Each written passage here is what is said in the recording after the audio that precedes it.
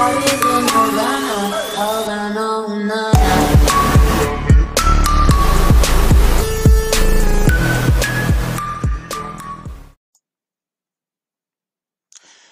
what's up, Camp Nerd fans? This is Ian, and I am back with another tutorial. I apologize for not putting videos out. I had a health scare and kind of been in and out of the hospital, and just a long story short, uh, my blood pressure's been up really, really, really high, and I've been trying to get it under control. Been having headaches and things like that, and I ended up and I went to the emergency room and they did some tests and they found a solitary nodule that's in my left lung which is a benign granuloma lesion and I'm going to have to be going to a pulmonary specialist and things like that. So that is why I have not been putting out videos but I am back and today we're going to do a remake version of my video on WinForms how to make a borderless form minimize and maximize as well as keeping the taskbar this time I'm going to show you how to do it in WPF I have noticed that there are no videos on how to do it in WPF. So that is what we're going to do today. And before we get into the tutorial, be sure to hit that subscribe button, hit the like button, share, and leave a comment below. And be sure to read the description for all the cool things you can get, such as the Keep It Nerdy in the Camp t-shirts. They are on sale. And so for uh, tutorial wise, let's just jump into it. It's going to be really, really simple. So what I'm going to do is I'm just going to create a folder, which is going to give us a uh, base to put it in. I'm just going to put tutorial and you can do this in any application that you want whatsoever and uh, I'm redoing my desktop screen recorder so right now I'm using OBS software and I'm going to be implementing a few things and also if you see right here uh, we have the Nerd Media Suite that is going to be coming out on Windows Store September 1st 2018 so with the tutorial what you want to do is you want to open up a WPF application all right, name it whatever you want, or if you have a application already, you can add it in as well. So what we're going to do is we're just going to select this folder and click OK, and we're going to let the WPF application build, and then this is really, really, really, really simple. I have seen several tutorials where they have 30 to 40 lines of co code on how to do all this and everything. So I'm going to show you how to accomplish this and it works on dual screens and you can uh, be able to use this in any application that you want and this is how to minimize maximize a borderless WPF form while retaining the taskbar. All right, so what we're going to do is we're just going to click on the window and we're going to go to properties and we're going to click for the resize mode, no resize, and then we want it to come up in the center screen and with the window normal. All right, then you are going to go to, uh, uh, let's see, is it automation? No, it's not automation. Miscellaneous? No, it's not miscellaneous. Give me just a second here. Layouts? Nope. All right, somewhere in here is going to be that's text, appearance. Here we go. You're going to go to appearance and where it says single border window for window style, you are going to put none. All right, so this gives us a uh, borderless form window. And what we're going to do is just to show you, uh, we're going to start it and run it, and you'll see that it comes up and there's really no movement to it, anything like that. Well, I'm going to show you how to get the movement on it first off because we're dealing with the window. And what I'm going to do is I'm just going to fit this that there so you can see it. We're going to, we're going to go to window and you're going to go to properties and then you are going to do the uh, for the dragging it is going to be the mouse down all right, where's the mouse down? Mouse down. Here we go, mouse down. You're going to click on it and just one line of code, real simple from the Windows forms. You're just going to put this dot drag move and then you're going to do that right there. Now, what we're going to do is we're going to save it and we're going to run it. And you can see that now it is movable.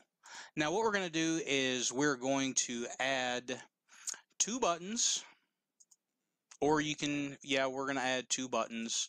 Uh, you can do button, button, and button. We'll do three buttons. So this button we're just going to put right here. Uh, this button we're going to put right there, and this button we're going to put it down here, somewhere in line with it like that. Uh, this is not trying to get everything in line, so what you're going to do is on this first button, you're going to go to the properties, and you're going to name it, and it is going to be minimize. Okay, then you're going to come down to the common area and content you're going to put minimize and that gets that button then this right here is going to be maximize and then you're going to name it is maximize so we can reference it in the code. Then you're going to go to buttons and you're going to do the same thing except this is going to be exit and this is going to be exit. Now, you can have uh, the material skins like I did in the last for the Windows forms. You can also use material skins in WPF. If you would like to see how to use the material skins and get cool buttons without having to add pictures in JPEGs and PNG and stuff like that, leave a comment section, leave a comment in the comment section below stating that you want to see that tutorial. All right, so now we're here on the exit button. So what we're going to do is we're going to go to the exit and we're going to go to the events and we're going to do the click.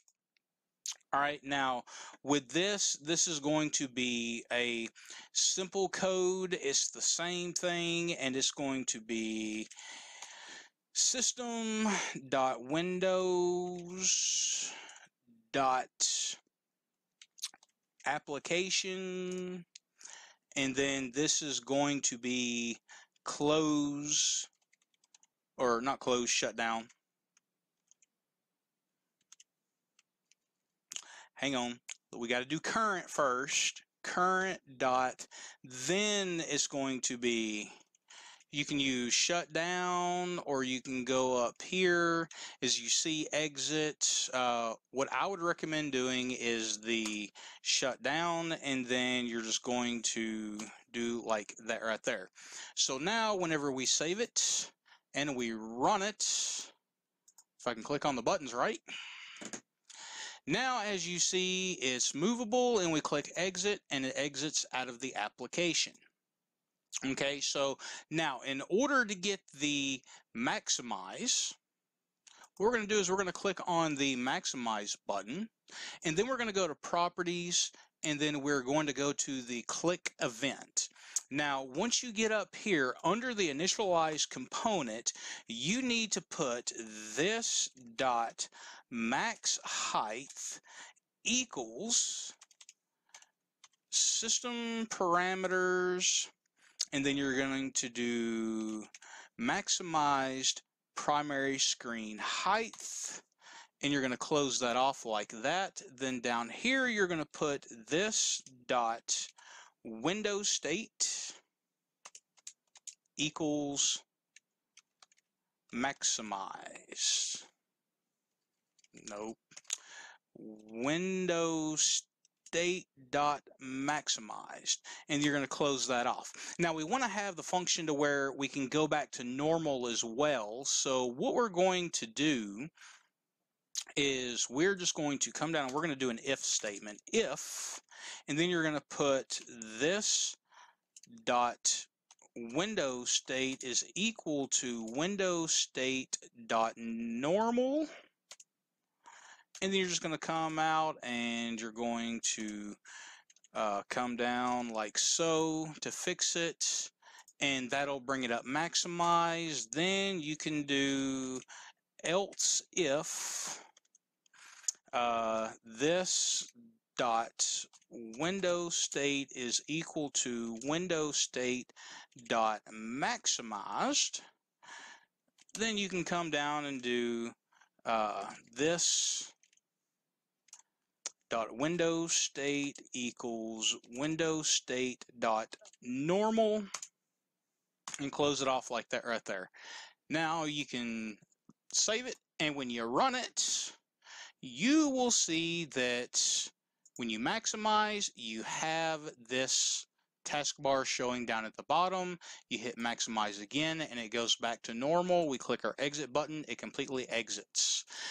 Now, if we go to the minimize button, do the same thing, go to the click event, and then this is going to be the exact same thing. It's going to be an if this dot window state is equal to window state dot normal. Then we're going to come down and do this dot window state equals window state dot minimized. Close that off. Then we're going to do our else if. And this is going to be this dot window state is equal to window state dot minimized then we're going to come back and we're going to bring it back to normal. This dot window state equals window state dot normal. Then we're going to close that off. So now when we save it and we run it, we have our movement, we have minimize and bring and minimize up, you got maximize with the taskbar showing. You hit maximize again and it goes down, then exit. Now, what I was saying, uh, if you would like to see the really cool buttons, I'll just show you a sneak peek of the Nerd Media Suite. It's just the beginning. There is nothing uh, fancy about it at the moment. But when we open up the Nerd Media Suite, you'll see what I'm talking about as far as the buttons and the icons and things like that. And this is using the material skin themes. So what we're going to do is we're just going to close that out, close that out, and you see how I've got my uh, help button, which goes to the about it's movable and then you've got your power button which exits you got your maximize screen and oh I need to uh, fix this right here. Let's delete that. I pasted that in the wrong section. I thought I got rid of that earlier. So let's go back to the start let's minimize this. So now you have the max with the taskbar and then you got that, you got the minimize, bring it back up, and then the about button, I have not set it up yet, but then your power shuts everything down like so.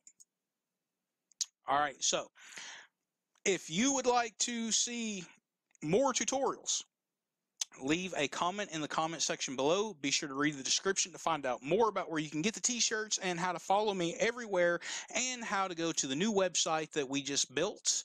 And be sure to like, subscribe to the channel. Be sure to turn on those notifications so you can see more tutorial videos like this coming your way whenever they are uploaded. Remember that this is Ian here in the camp.